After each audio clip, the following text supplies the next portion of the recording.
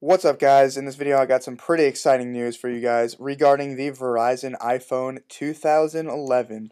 If you guys have been following any type of technology website, including my website, Engadget, Gizmodo, the New York Times, the Wall Street Journal, you probably know that many, many, many sites and companies are actually giving us pretty solid evidence that the Verizon iPhone will be released on January 11th, 2011, Tuesday. Um, I am filming this video on January 10th, 2011, which is Monday, and I just wanted to give you guys um, my thoughts on what you should expect to be released and um, what I think will be released and what probably will happen at this Verizon event tomorrow, January 11th. Um, as many of you guys know, before I start the video, the Verizon iPhone has been pretty much being waited on by the public for three years ever since it's been released. Many people just don't like AT&T, and many people have been waiting for Verizon on the iPhone uh, for the iPhone. And now we are pretty much 100% sure that the Verizon iPhone will be released tomorrow. If it's not, it's going to be a huge shocker, as many, excuse me, and I mean many companies are actually saying it's going to be released. So pretty much it's going to be released. Otherwise, every single company is going to be wrong, which I doubt will happen. So we pretty much have confirmed evidence it's going to be released tomorrow.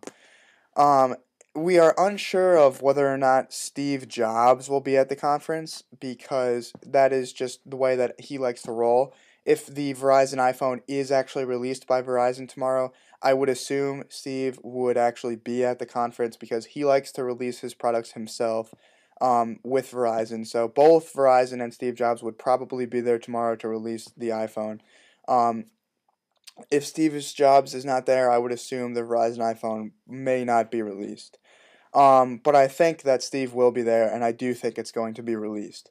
In terms of design, um, I would expect the Verizon iPhone to have the exact same design as the iPhone 4 does now, except um, they will have eliminated the antenna issues the little line that you find along the outside, the two little receptors, one in the upper right and one in the upper left, er, in the lower left corner, that were causing all of Apple's antenna issues with the iPhone earlier in 2010, will probably be eliminated because Apple wants to fix those issues, and also they're making a different type of antenna for the Verizon iPhone because it's a different type of carrier. Um, so that's pretty much the design. I would expect literally the exact same thing with just a new antenna fix. They're not going to release a new iPhone 5. They're going to save that for this summer of 2011. Um, so it's going to be the same iPhone just with Verizon service. Um, in terms of the network itself, I am unsure if the Verizon iPhone is going to be released on 4G or 3G um, because Verizon recently upgraded to the 4G LTE. I would expect it to be 3G just for now um, until later this summer when iPhone when Apple releases the iPhone 5, um, simply because the 4G is very very new, and I doubt AT&T or Apple would release a new version of the iPhone without AT&T having it as well. So I would expect it to be 3G, but I could be wrong. They could upgrade the iPhone to 4G on Verizon. We will have to wait and see. Um, in terms of pricing, I would expect the exact same um, price as the Verizon or AT&T iPhone. Um, however, there is one quirk in terms of rumors that's going around that many, many sites are actually saying that the Verizon iPhone will have unlimited data or offer unlimited data, which is a huge dig at AT&T because AT&T currently only has 2 gigabytes, I believe, which um, some people may actually go over the cap, and having unlimited data really helps out with that. So I've heard that they will have that option, but again, we will have to wait and see. Um, and yeah, pretty much that's the Verizon iPhone 2011. Um, it's supposed to be released on January 11th, 2011, which is tomorrow, as I said before.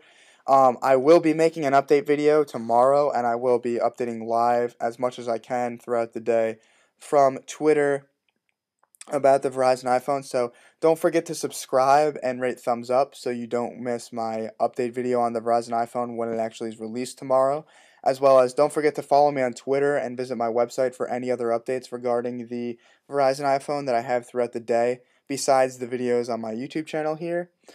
And also, don't forget to like me on Facebook um, in general. And hopefully, you guys enjoyed this video. Again, thanks for watching. Stay tuned. I'm really excited about the Verizon iPhone. You should be too.